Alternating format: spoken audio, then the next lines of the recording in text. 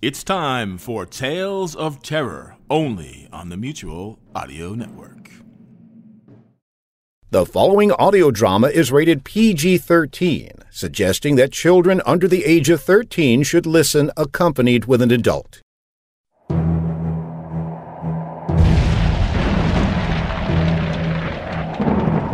This is Brett Lovecraft coming to you live from the streets of Portland. Little is known about what started these riots, only that they started a little over two hours ago and appear to be simultaneously choreographed throughout the city. In some areas, the riots have become extreme, brutal, and in some extreme cases, cannibalism. Oh my god! Look at the size of those things! Move, move! We have to get.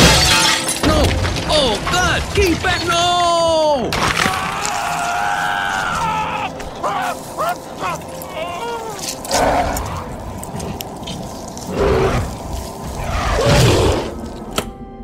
And people say there's nothing interesting on TV these days. It began a long time ago. This is how it ends with the screams of the dying whilst those responsible hide their heads underground. You can't think this has anything to do with us. This has to do with all of us. You let the grass grow under your feet in Europe. While you sat in comfort enjoying your lifestyle, Dracula made deals with the Lycans. Now, just one minute, Pale Man. No, Felix. It is true. And I should have stopped Branlaven from distributing Rush. I should have sorted out that maggot when I had the chance. And when you've finished feeling sorry for yourself, what are we going to do? Don't think you're absolved of any blame.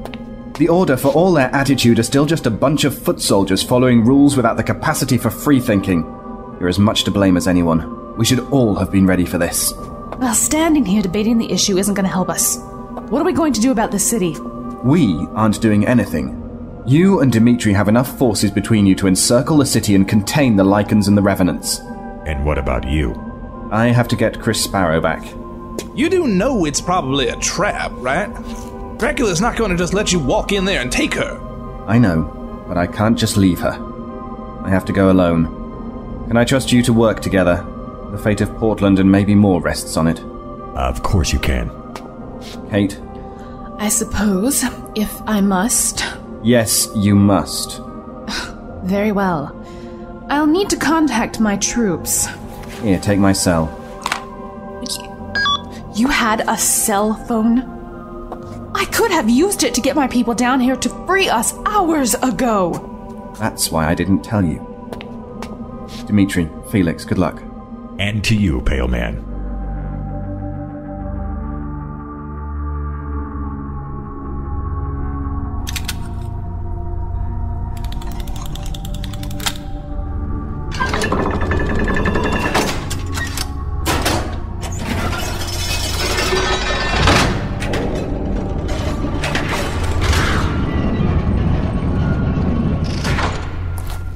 Everything is prepared, my master.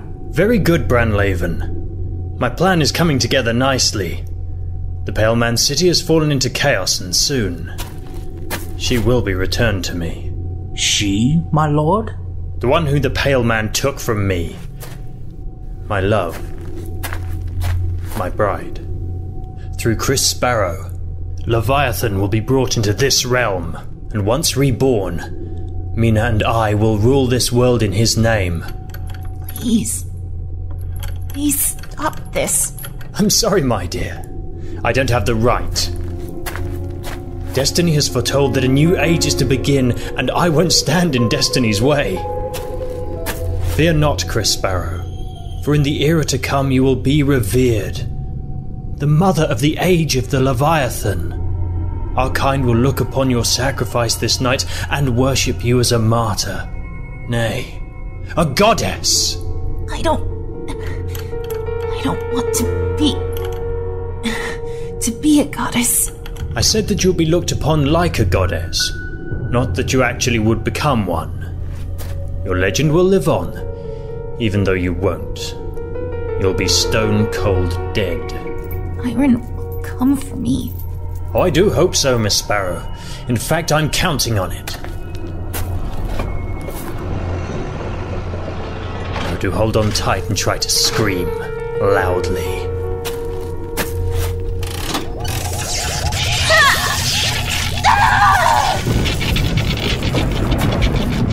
Look, Master. Look at the sky. Yes, Branlaven. It's beginning.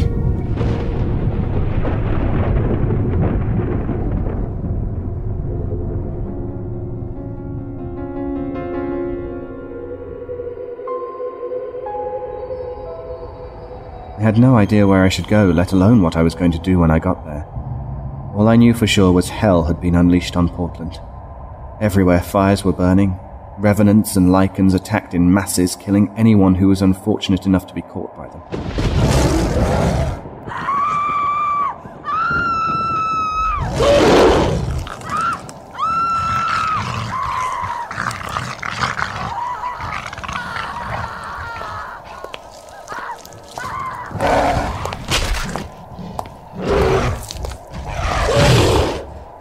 Curiously enough, they left me alone.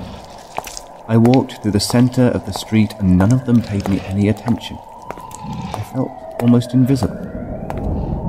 I began to make my way towards the Ross Island Bridge, and out of nowhere, a solitary figure in a long black cloak stood waiting for me.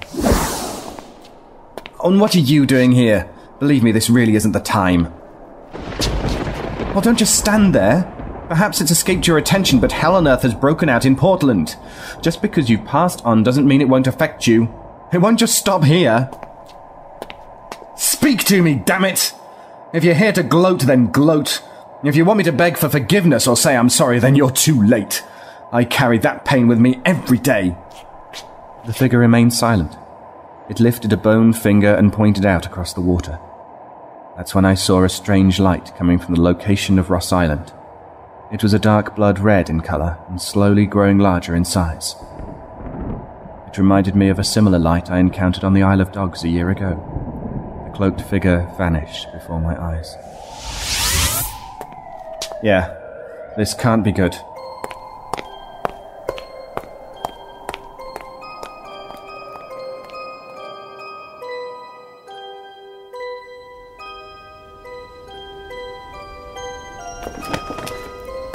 My guards have set up a perimeter. They're just about holding a line to prevent the revenants and Lycans from progressing outwards. Good.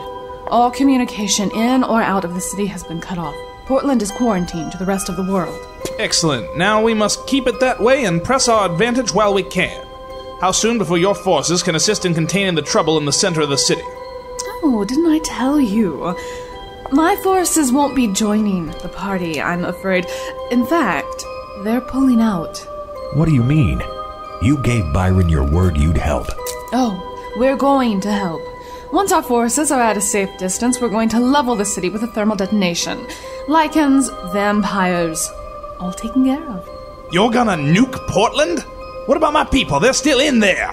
I have no doubt you'll find others to replace them.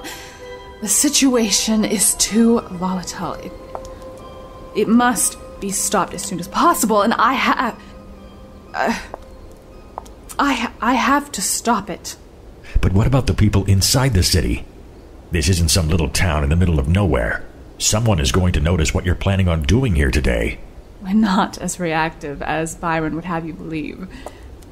Our allies in the Black Door Group have already created a cover story prepared for this type of situation. The newspapers will have a nice terrorist organization to focus their anger on.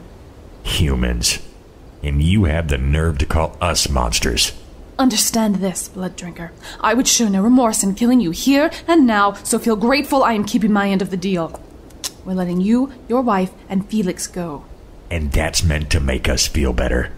Transport has already been arranged to take you back to France. However, if you feel the need to decline this offer, I will kill you, here and now. It seems we have little choice then. No, you. You. D- you don't. Are you having a little trouble concentrating there, Kate? Maybe your pills are wearing off. Uh, I'll be fine. You just worry about your. your own skin. Yeah, you're right, I should. Pale Man told me it's a delicacy among zombies. Felix, what are you doing? Relax, my lord. Wouldn't want you to be like Kate here and lose your mind.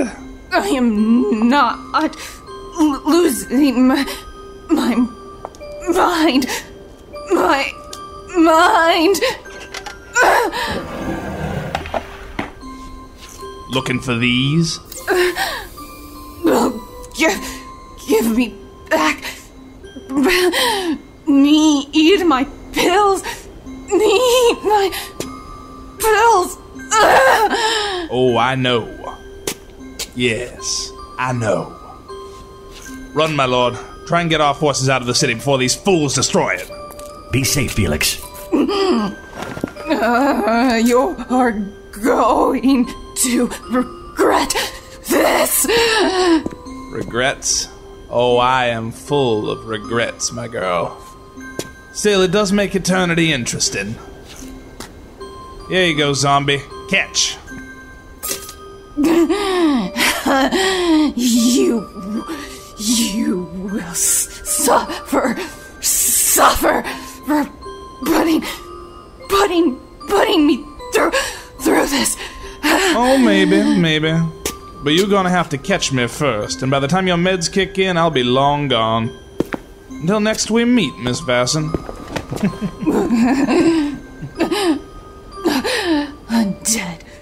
bastard.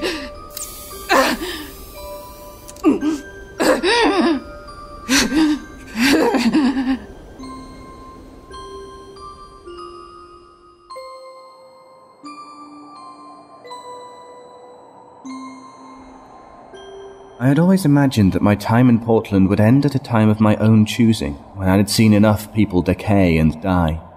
When changes in industry, architecture, and attitudes had made me feel like a relic. I imagined a time when I could return to my life before the Shadow Realms, before my punishment. Now it appears fate has dealt me a different card, the Ace of Spades. I wonder if this is how Napoleon felt. I really should have asked him. I now face the eve of Waterloo, or, to be more precise, the eve of Portland. Go no further, brother. Get out of my way, Slate. I don't have time for our customary friendly banter. Byron, for once you will listen to me. Look at what is happening here. I warned you all those years ago that consorting with humanity would bring a cost. You once believed, as I do, that human affairs were best left alone. That was when they were in their infancy, riding horses using crude bronze weapons, making dangerous wheels of cheese. Look at them now, Slate. Open your eyes. I knew it would be fruitless to reason with you. Nevertheless, I cannot allow you to go any further. You can't stop me. I have to face Dracula. I have to stop this. He's unleashing something, and I got a pretty good idea of what it is, and I am not in the mood for it dancing across Portland. You have to do nothing. If the Leviathan enters our realm, then we will face it then. All of us. Together. Leave this world to its end. There are still so many others. This world has one difference. Now get out of my way. Byron, listen to me. Oh, I'm tired of listening to you. It's always the same thing. You must return to your realm and sit around and do nothing because that's the only thing we're good for. Go back to the realm. This fight isn't for you. If you go, then you will die. You don't know that for sure. It is destiny. I have seen the man in the black cloak. He told me the future. Impossible.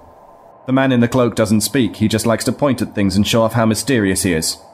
I thought so as well. However, he came to me. He showed me the future. You will die. Soon you will sacrifice yourself for nothing. There is no such thing as sacrificing yourself for nothing. If I die, I plan to make sure it's for something. You stupid, thick-headed, arrogant fool. You expect me to accept you throwing yourself away again? I've already lost you once. Our father, our mother, our sister. I will not live alone. I found myself staring at my brother. Never before had he said the words, so much unsaid between us. For the first time, I saw beyond the strong, principled man to the insecure being beneath. I put my hand on his shoulder. I will return, Slate. just as I did after the Isle of Dogs. Perhaps this time. But the future is unfolding, and I fear your tale is ending. Slate handed me a long metal spike. From its tip, I could see the remnants of a liquid. It was filled with dragon venom, the very same poison Dracula had inflicted on me when last we met. You know what to do with it, brother. Yes, I do. But right now, I have to go for a little swim. It would have been nice if they had built a bridge to Ross Island rather than passing near it. Oh well, here goes.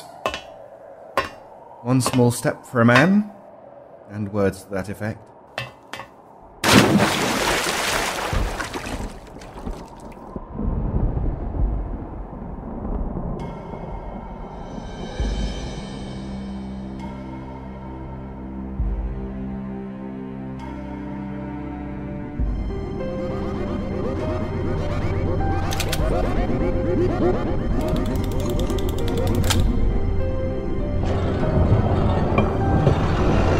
Sign of the Pale Man yet, Master. He will be here. It's destiny that I shall have his blood. He won't let you in. You pleasantly surprise me, Miss Sparrow. Expected you to be much closer to death at this stage. Can you still focus? Can you see up in the sky? You're responsible for that.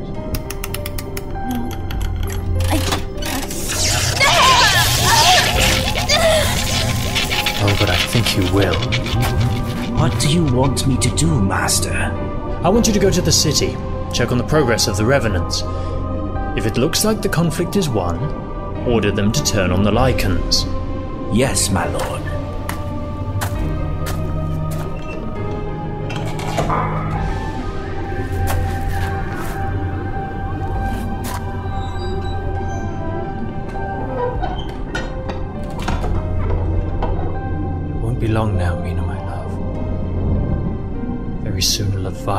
Bring you home to me.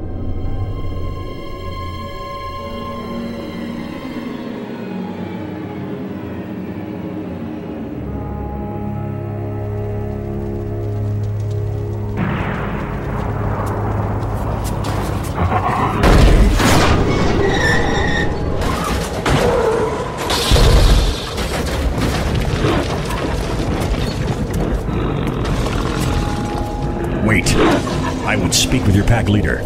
And why would a pack leader wish to talk to someone like you? Do you not know who I am? Oh, we all know you. Dimitri of the European Coven. I am also the lord of all vampire covens. I am Ryak, son of Tyak. Can you take me to your pack leader? No, he has returned to the old country. I am the leader of these packs. If I was to kill you now, I could mount a challenge to the Alpha. I would be the man who brought down the head of the vampires. Wait, wait. I, I, I have a proposal to make. Really? And what could you possibly have to offer to me? I know that you have an agreement with Dracula that in return for assisting the Revenants, he will let you sit as equals. Yes, this is true. Do you really expect him to keep his end of the covenant when this is over? I expect him to betray us. That is the way of the vampires. Our Alpha is weak. He has lost his way. He decreed that we were to aid the Dark Father in his cause. Therefore, we do as we are tasked. Your society is very archaic. We obey the codes of conduct set down by our forefathers. If I am chosen to die tonight in pursuit of it, then so be it. Just as my father before me, I am ready to die, upholding the decree of the Alpha. What if I made an alternative offer? Would you listen? and what makes you any more trustworthy than the Dark Father? Look out! Betrayal. You shall not take this one, foul beast. What did I tell you? Now will you listen to me? You have saved my life. By the laws of the code, I owe you a debt that must be repaid.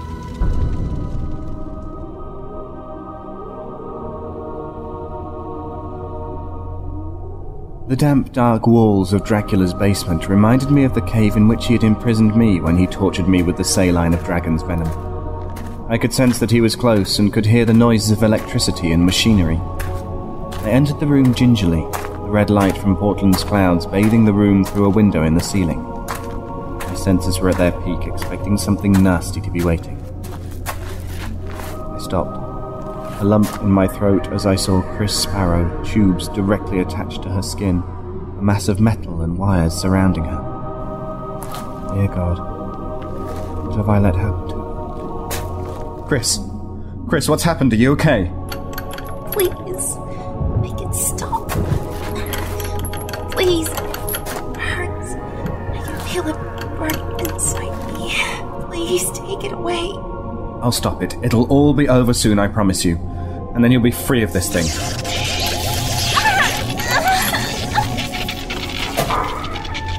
Do you honestly think you can stop it now, Pale Man? Nothing can prevent his arrival.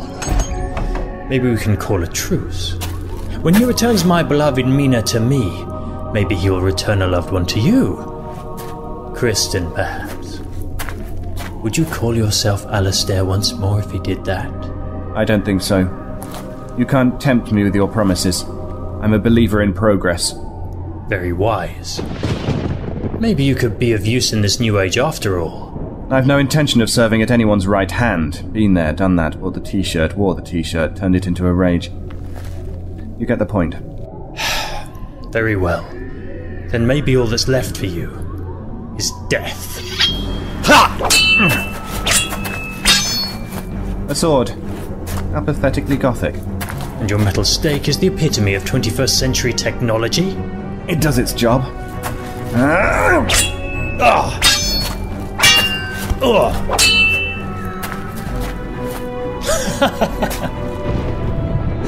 we are of the old times.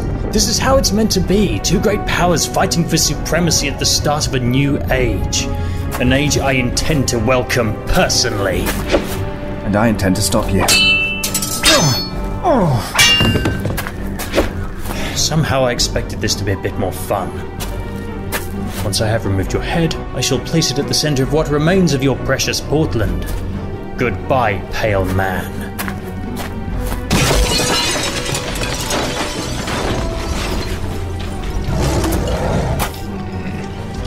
Dimitri! No. What are you doing here?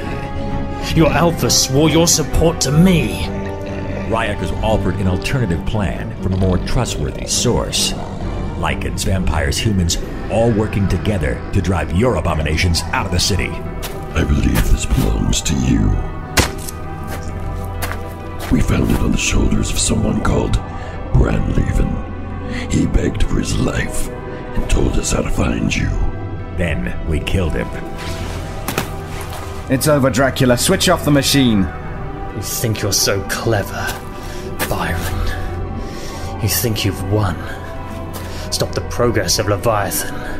Well, I think not. He dances, and tonight he dances for you! Where's he gone? We mustn't let him escape. No, we have to stop the machine. We can't allow Leviathan access to this world. How do we do that?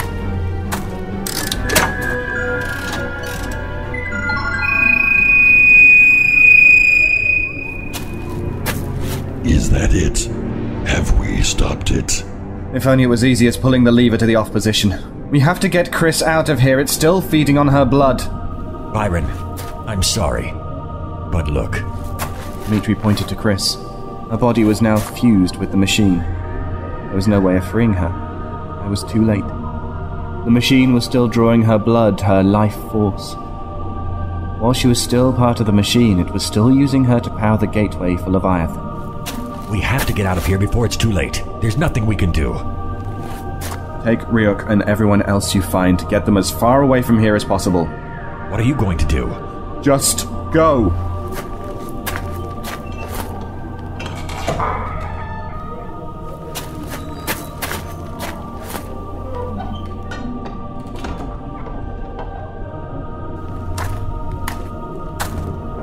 Chris. Chris, can you hear me?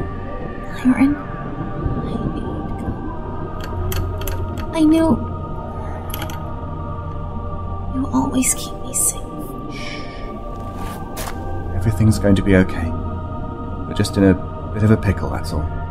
You're not angry, are you? I held on as long as I could. I was strong, just like you taught me to be. I'm so very tired now. Everything will be better in the morning, and when you wake, you can tell me all about your dreams. It's been so long since I dreamt.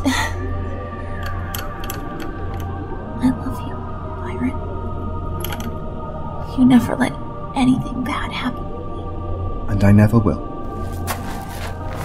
I'm so sorry. Please forgive me.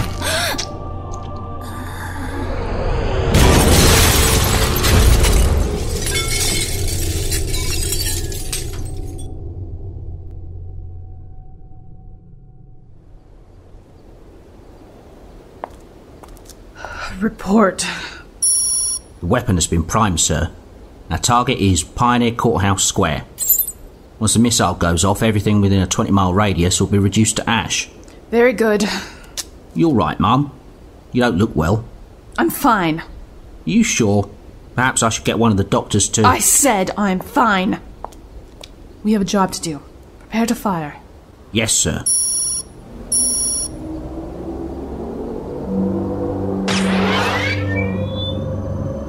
All lights are in the green. We're good to go. On my mark. Three, two, one. Sister Catherine, I have an update. What is it? The riots have ended in Portland. All of those zombie things are gone, as well as Lycans. It's like they just left. And the red light. That's gone as well. Even the storm seems to be passing. Interesting. What do you want to do, Mum? The missile's set to fly. Stand down. Prepare for full evacuation force from this area. At once. Well, Byron, it looks like you succeeded. But I wonder at what cost.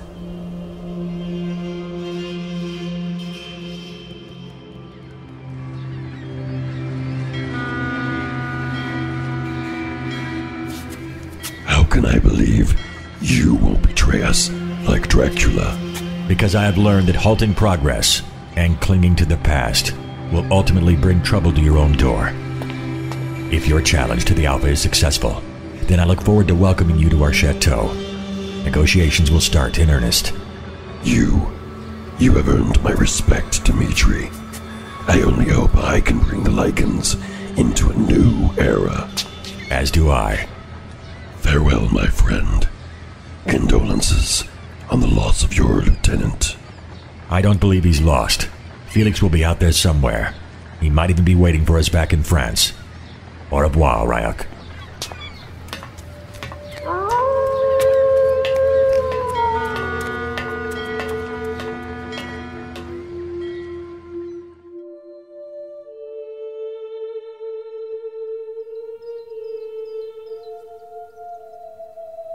I brought Chris back to my tower in the rose garden. I gently laid her upon the leaf covered grounds behind my home. I can't help but wonder how many have died because of my actions. Has anything I've done made any difference? The great conflict grows ever closer, and nothing I've done has prepared anyone to deal with it. I look up at the sunrise. The storm clouds have cleared, but a haze fills the air. Smoke from countless fires still burning throughout Portland. All of my plans, everything I've worked towards, there's nothing but ashes left now. And Chris Sparrow, my friend, my. I'm so sorry, Chris. You deserved so much more than this. I knelt down beside her still form. Her body had grown cold. I pushed a lock of her hair away from her face. Chris Sparrow, my friend, my. I want to scream, but don't. I want to cry in despair, but can't. All I do is sit next to her on the ground. They say it gets easier with time, but it never does. The hurt just makes you worse. It eats away at your darkened soul. Have I not been punished enough? That's when I noticed him for the first time. A grey haired man in a black cloak, standing observing my pain with a silent gloat. It is unfortunate, is it not? The price mortals pay when the gods choose to walk amongst them. But then is the Paleman truly a god at all? Or a simple immortal plain as a god? Be cautious, steward of autumn, lest you be stepped upon. What? What? How, do you know what I. What I. I know much about you, Paleman. But I see I have intruded on something very personal for you. I too have lost people I loved. Millions of them. All because they worshipped me instead of him. He made me watch as his angels killed each and every one of my followers. As the last of my children fell, he cast me into the labyrinth to rot for all eternity. The labyrinth? Who are you? I think you already know. I was the first one cast out when this flawed reality came into being. Nevertheless, I am free once more. I will take back that which has been stolen from me. I am Leviathan, and I will have my vengeance.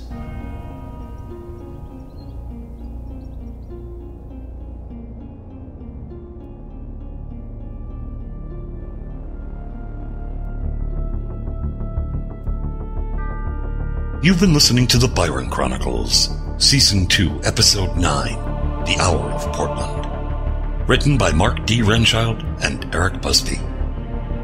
Featured in the cast were David Alt as Byron, Laura Post as Chris Sparrow, Mark Brzee as Slate, Morgan Presley as Catherine Mason, Ben Harmer as Bren Laven, Clemengus Dodds as Dracula, Darren Muller as Ryak, John Specht as Dimitri, Brad Smith as Felix, Bruce Busby as Brett Lovecraft, Michael Hudson as Aid 1, Ellie Hirschman as Aid 2, and Julian Bain as Leviathan. Music provided by Midnight Syndicate and Kevin MacLeod. Byron theme by Kai Hartwig. This episode was produced and directed by Eric Busby. Post production work by Eric Busby. This has been on Darker Projects Production.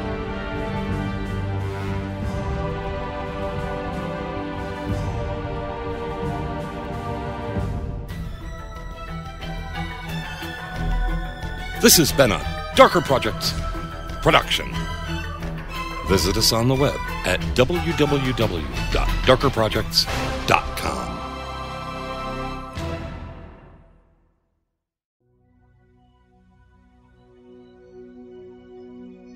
There are many things that we can all do that may help stop the spread of the coronavirus. But one thing we can all do is to have a plan in case you do get sick. First, consult with your healthcare provider for more information about monitoring your health for symptoms suggestive of COVID 19. Second, stay in touch with others by phone or email. You may need to ask for help from friends, family, neighbors, community health workers, or more if you become sick. And finally, determine who can care for you if your caregiver gets sick. For more information, go to cdc.gov and be well, everyone.